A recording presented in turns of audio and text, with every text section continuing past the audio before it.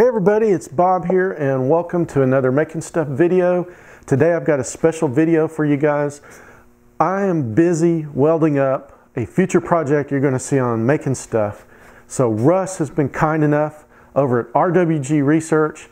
He is going to take over and he's going to show you what he's been working on over at his channel. He's been doing some really cool stuff over there with his 3D printer and he is making circuit boards right now with a 3D printer.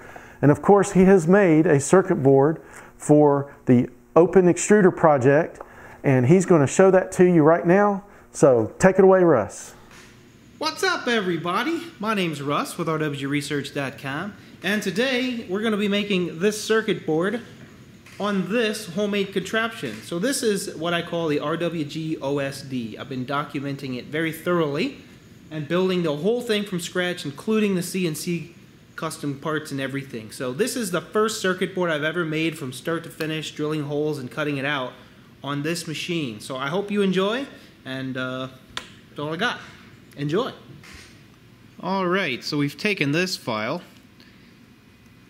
made the traces, from the schematic and we exported that so into FlatCam and we've generated the necessary G-code all uh, 45,000 lines of it edited what we needed and we have put it on the printer well it kind of is a printer and we are ready to start cutting so I probed it I got our height map here so you can see what that looks like. It looks like uh, this side's a little low, but um, we're going to have to just hope that it is doing its job in leveling the bed. So I still don't trust it 100%, but that's okay.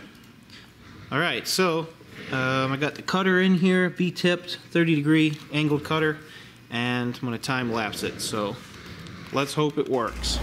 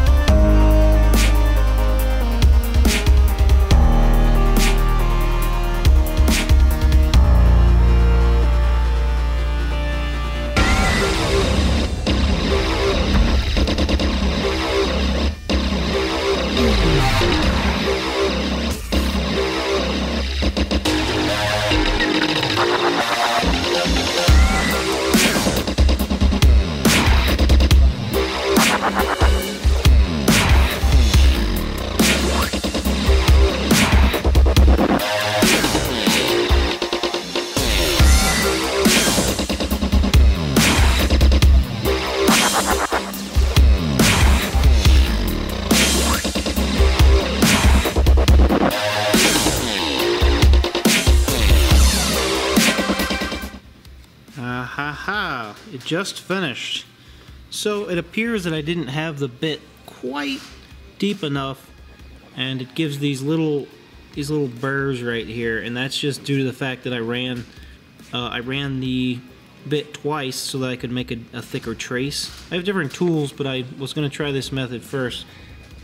And as you can see that works fine but the tool wasn't quite deep enough and I didn't have it worked out just perfect but it works. The other thing is as you might notice I actually had the board the wrong way.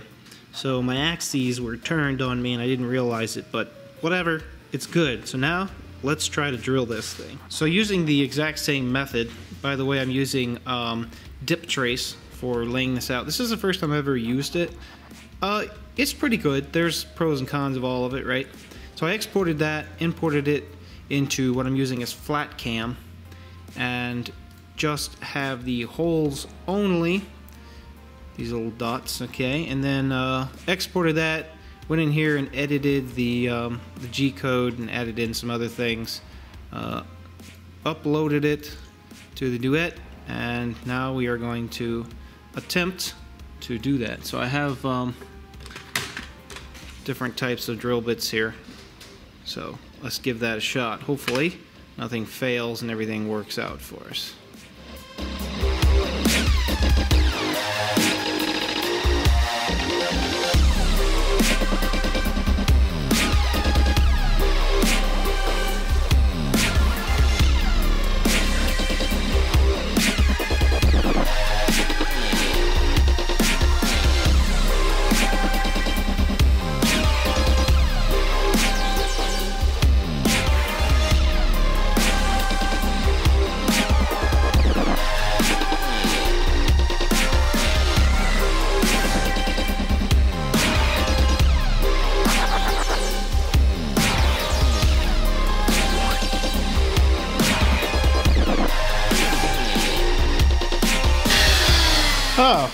Guess that's all of them.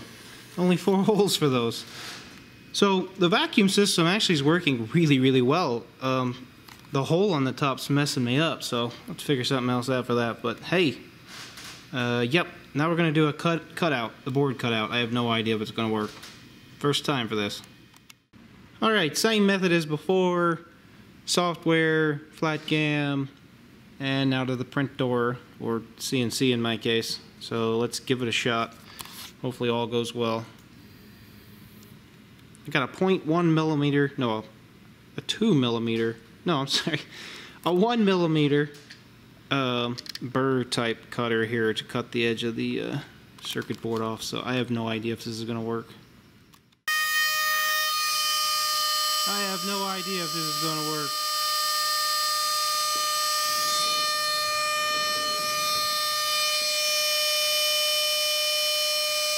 but I think it will.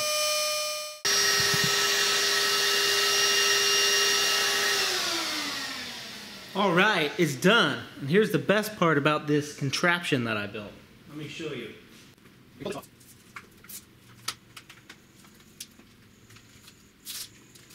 This vacuum cleaner is actually a portable vac. So now I can clean up the little bit of mess I got on the table.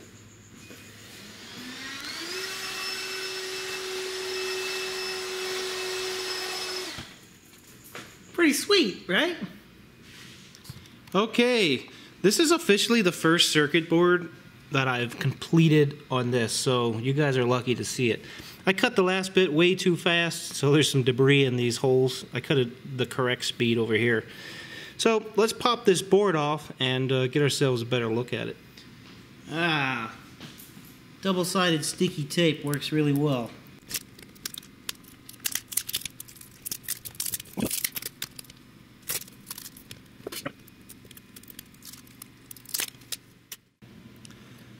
Okay, well it turned out really, really well. The holes drilled all the way through and look perfectly clean. So now what we're actually going to do is just pull off these little strands. You can see them on there. They, they, they pull off. That was due to the depth not being just right. So we'll pull all those off and this will look a little bit better. Oh, that was a bad idea. I used a razor blade to, to finish after I pulled all those traces off.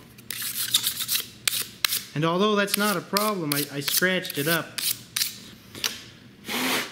But yeah, there's the finished circuit board.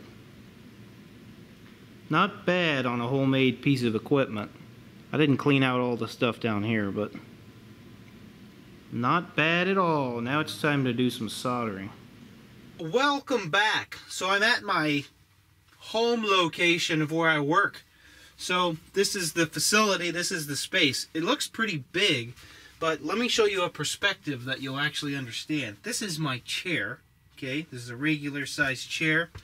I can sit in it. So this space looks nice. However, let me show you from this angle.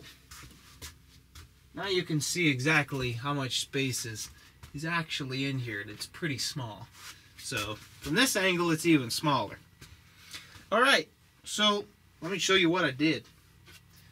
I got the circuit board all cleaned out. I used a brass wire brush, cleaned it up a lot better, and it looks much, much better. So now we're going to assemble this thing. And of course, it'll all be time lapse. So, got my soldering station right there. And uh, yeah, let's get started. I'm going to have to hodgepodge some of this together from my old circuitry and pieces and stuff.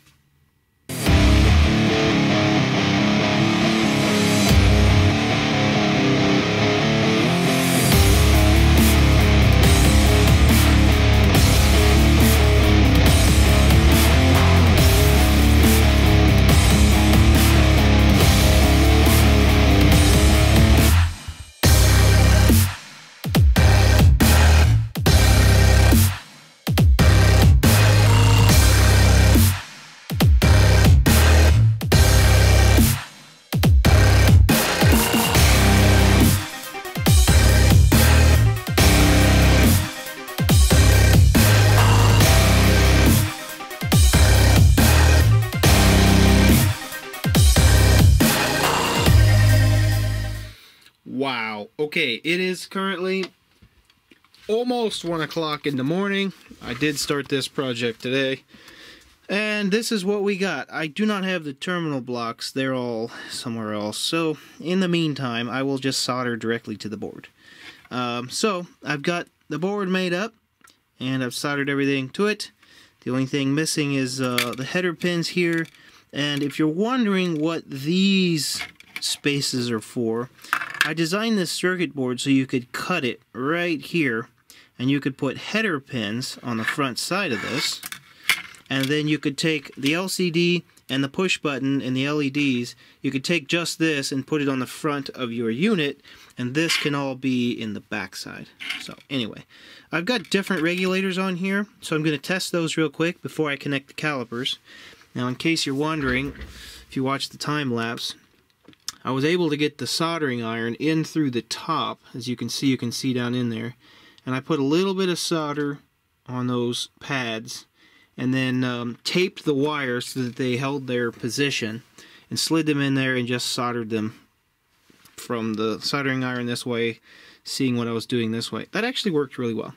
Now what I'm going to do is I'm going to cake the whole thing with some hot glue right there and put everything back together and that way you won't you can't really tell what's going on. Now, Bob actually 3D printed, as you guys know, the little adapter to put in here, which is pretty cool, but I just wanted to solder it on there instead. Okay, let's finish this and test the voltages output. Make sure that's correct. Hook this up. Download the program to the Teensy and give it a go. Awesome. Okay, so I want to show you a quick problem. For the low voltage 1.5 volt regulator, I am actually using an LM1084. And it so happens that when you turn it on, this happens. So looking at the spec sheet, apparently you're supposed to add a um, 50 UF uh, aluminum capacitor or a 10 UF tantalum. Okay, it's all stable, it's working.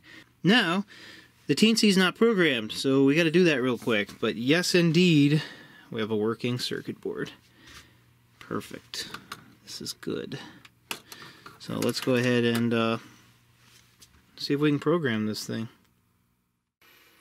Oh, you guys are gonna love this. So, I got this far. It is 2.20 in the morning. I got this far, and I'm supposed to reset the teensy by pushing this button. So I did that, and I couldn't get anything working. It drove me nuts. So I spent like a good half an hour to find out this cable doesn't have data pins in it. Why do they make cables like this that don't have the data pins? It drives me nuts. I've had this problem many a times before. I should have figured it out sooner. Anyway, we're almost there. All right. Well, it's almost 2:30 in the morning. We successfully built this thing. Unfortunately, the LCD screen is a single liner. But I got a surprise for you. This is the LED for the alarm, and I happen to have LEDs that have built-in flashings. So, this is the alarm reset, and when I hit it, look at that. How fancy is that? That's built in. All you gotta do is apply power and then it flickers to different colors. Pretty cool.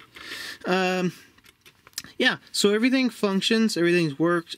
Apparently the program is downloaded because this is working. Uh, and I was really hoping to get my first couple of steps out of it, but I can't do anything without the right LCD. So I'll dig up a 16 character two line LCD. But hey, live and learn. Alright, it is a day later and I have successfully accomplished my goal. Let me show you. So I found some connectors and I found an LCD screen that isn't the right size. This is the original size of the LCD that, that you would buy if you build this board. And this is a one-liner, as you saw. So I got a two-liner, and then I just made a patch cable that plugs into the header pins. And it's fine. Got one screw holding it in place for now. Um, when I'm done, I'll probably end up moving all this onto a separate system anyway, so it's fine. Now, uh, I got the motor connected, terminal blocks, and the calipers. That glue is great. Really worked well. That's that uh, hot glue. So turn it on, and here we go. Open extruder, automatic mode. So if I start it, the motor's running really slow because I got it configured differently. So it's running really slow. This is what's on the calipers. This is all beta software just to make sure the thing works. But yeah, it is working. These are the PID values, and this is uh, what the PID loop is doing. Anyway, still more work to do, but yes, indeed, it is done, and it does work. Now, it's just a matter of testing, working on the software. Oh, and I forgot to tell you, if you're wondering while I'm making this board, why I'm making this board, it's because I have this extruder I built many years ago, actually. And here's the winder for it. I designed and engineered and 3D printed this whole oscillator and all the parts on here. And here's the water cooler that I sent to Bob.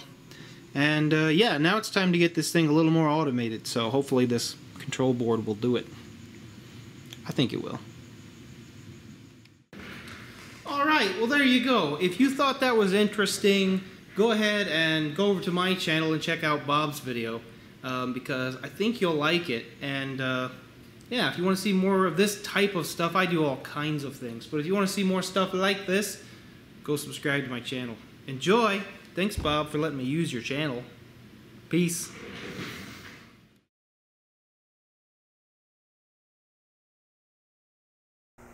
All right, Russ, thanks for showing us what you've been doing over there at the RWG Research channel. I've got links to his channel in the description, so be sure and go over there and check him out. If you like what you saw, please give us a thumbs up. Don't forget to subscribe, and thanks for watching.